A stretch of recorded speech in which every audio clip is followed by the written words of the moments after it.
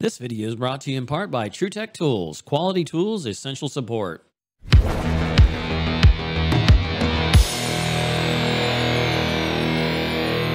right, so we're here to check out an air conditioner. It ain't working right. I was up on this roof just recently, and uh, filters were dirty, things like that. So let's get up here. Uh, I did notice the thermostat was blank, which means usually the power's not on. So let's climb this really nice roof we got here. Uh, yeah, roof, roof, great design. Uh, so anyhow, let's get up here and take a look, see what we got. Filters still look bad because I'm waiting to get some of the other parts. But that ain't the problem, I don't believe. It appears we don't have power. Let's see if we got any friends in here. Let's see if we got power at the uh, disconnect here. It's nothing's running, fan's not running, nothing, stat's dead. So it's pretty obvious that the power's dead. That's why I went ahead and killed it. This has no codes or anything like that to make it brain dead. So let's go ahead and see what we got inside here. So we come across the top here and we are dead. Nothing at all. Go to ground right here. Nothing. Now let's isolate and let's see if we're shorted to ground. Something bad might have happened. Let's see what we got there on that. See if we can get a good ground. No buzzy buzzy, nothing there and nothing there. So did somebody shut it off by accident because things aren't labeled well? What's going on? So let's go downstairs, see if we can find the breaker for this and see what's going on. Uh, before we get started out, might as well check the belt real quick because, like I said, the belts and filters are supposed to be done by the facility here, but they haven't been getting done and they've had quite a few different people. So hopefully this new person will be taking care of that and we won't have this problem anymore. So check this belt. It's a fairly newer unit. It's a 2020, so shouldn't have too many problems, hopefully already. So belt doesn't look too bad. It's got a VFD. Looks like it's still hooked up on it.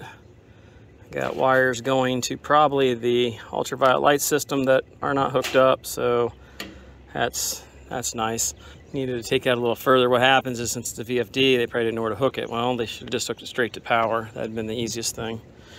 Anyhow, let's go downstairs and see what we got. Okay, we have one that's tripped here. It tripped again, so I've got the guy going up there to flip the disconnect back on. And let's see if it still trips even uh, with it disconnected. If it does, then we got wiring issues between here and the, the unit. All right, so he turned it back off up there. Let's see if it still does it. Uh-oh, didn't trip. Let's go up on the roof and see what's actually shorted.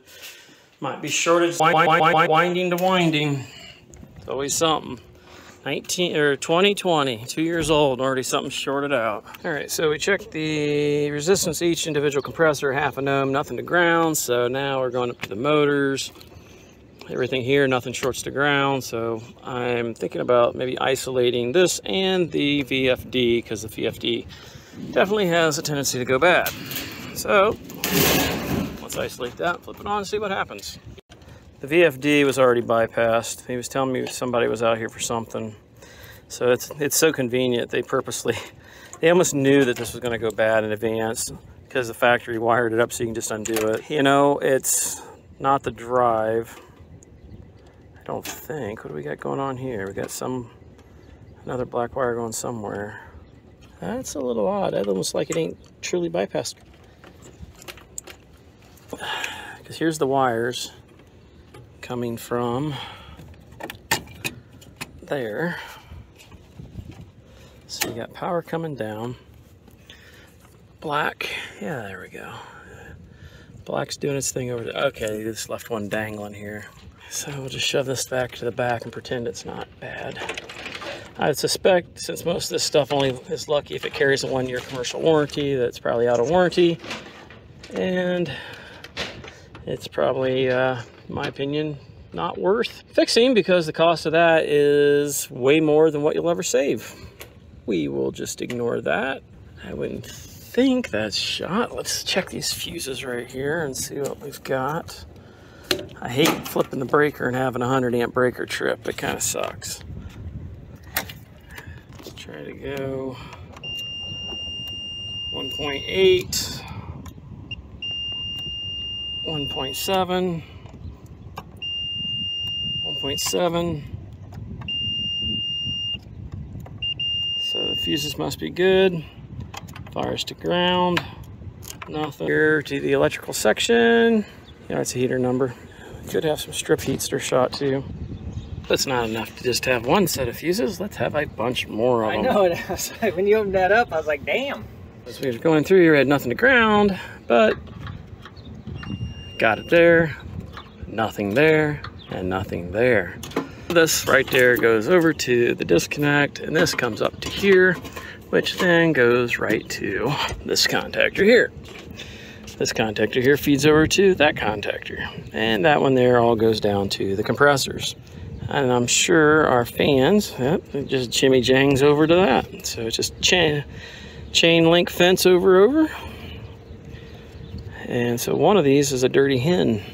Problem is we got two fuses blown, but we still tripped the main. That's kind of bothersome.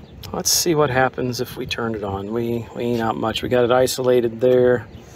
Let's see what happens here. Close this back up. See if we got some power. Thanks, showing those two lights ain't on. That's what I was Well, we're at. missing one, two, two power legs. We're uh, not going to have everything, but if we have at least something, that means we didn't trip the main. Nope. Nope. So it tripped it. So we got something really bad going on. We've isolated that, so the only thing really we got left is either the electric heater elements or the fan. And we You got want me to this one. that breaker. Yeah. And it comes over here, so here's your condenser fan right here. So we know that that's not even pulled in, so that's not it. Now, far as the blower, All right, I'm fixing to flip it. that's fine. Okay. Yep. So we've got this going up to here, which then is fed to here, then goes over to here, and comes down to here, and goes right to it. So this is wired directly. What I would say is the deal here is that the blower is wired directly to run all the time.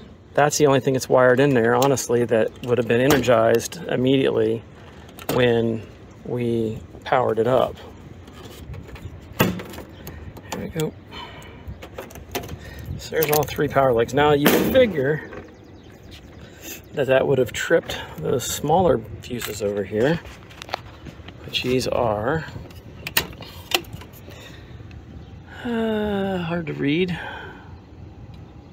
Hey, that didn't trip it. No, it's because I got power off. Let's see if it does now. If we got voltage. Nothing. And nothing. Let's see if we've got it over here anymore. Yeah, lost it. Nothing. Nothing. Okay. That's all dead. So we've got the blower unconnected. We got the compressors unconnected. Only thing we got left now is the condenser fan. Let's see if it there it's at. Which it wasn't even energized, but whatever. And that's probably single phase. Horsepower, three horses. RPM, service factor, give me the freaking voltage. Three phase, that's three phase too. Okay, well, at least they did that in three phase. So we got one more wire here. That's probably hidden some blue goes right there. There's those. Reset her again. I don't see how that could be, but it's possible. And for those that are wondering, yes, I just checked and it is 2.6 ohms between each one of those legs. So who knows? Let's let's make sure we actually are getting voltage to the top of this thing. Well, that's because I got it isolated. Until I flip the thing on, it won't trip. That one's no good. And that one's no good. That one's half-assed okay because it's 0.6.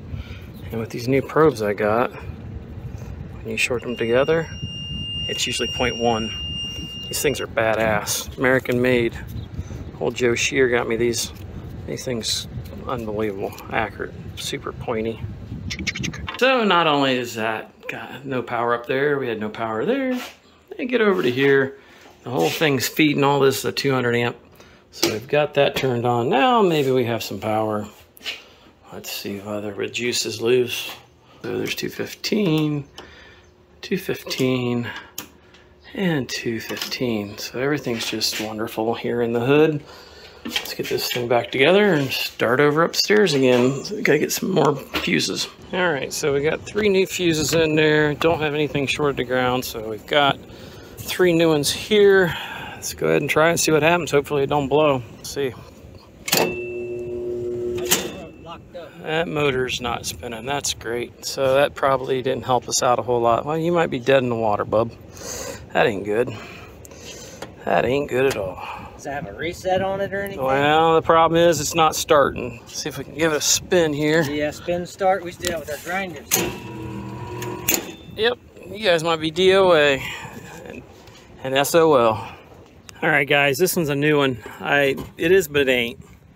It completely missed it. Do you see anything wrong with that right there? Don't look like it, does it? Well, look what happened when you look at this other side. They melted together. I've been tracking, trying to track down a, a bad wire. Look at that. That is some amazing stuff. It is, but it ain't. You know what I'm saying? It's just freaking making you believe you got a problem with your motor and you only got a couple seconds to get it done before it blows a damn fuse because all you got is fuses here, you got fuses up there, got a breaker down there, then another breaker after that. Freaking just making everything more of a pain in the butt. But finally found it. My God. I was sitting there megging things because I'm like, I can't be losing all my fuses. But finally freaking narrowed it down. Holy crap. Unbelievable. Plain sight. Now, from behind the scenes, what I've been doing is was just going to test out the compressors to make sure everything was okay. That's when I found the wires here were shorted together. These are 60 amp fuses. That's what it's rated for. That's where it distributes the power from here, then on down to the electric strips. Got the blower hooked back up, got the condenser fan motor hooked back up. We're gonna go ahead and hit the contactor on each one to make sure we're good, but our short was right there at the end of the fuses. Um, I'm sure it may have weakened the 80s, but I don't have any other ones and we're just gonna run it. Let's go ahead and see what we got here. That works. That's good. There goes one compressor. Let's see what our total amp draw here is. 27 amps. 28. And we got one more compressor to go yet. So the motor's not bad, which is awesome. That makes it a lot easier. Just don't like the way that is. That's kind of chintzy. All right, all everything's running. Got the door on. Get that on. Running 44. 44. 46. So we are good to go. All right, that one there was a little bit of a pain in the butt. Uh, you get hot like that and you're up on the roof, you kind of miss things, but honestly, that was a really hard one to see unless you're staring for it. A two-year-old unit, you shouldn't have to worry about wires melting together. In my opinion, the factory didn't choose the correct gauge wire. They should have never melted down like that and melted together. So the insulation theoretically was not probably rated high enough and then when they tied them together, it just caused the heat to bunch together. That's why a lot of times THHN wire is rated for more amperage than what a Romex wire is because the wire's got space in between it for air. Uh, same thing with uh, electrical wires up in the air. They handle more power with the smaller uh, gauge wire because the air actually keeps it cool. So, you know, just kind of goes along with that theory. So pretty simple one, but not simple, you know, it's one of those things you gotta keep your eyes open and be coherent. Anyhow, that wraps that one up, guys. We're going to go on to the next video. Till next time, make sure you check us out on Facebook and Instagram. And until next time, we'll catch you on the next one. Later.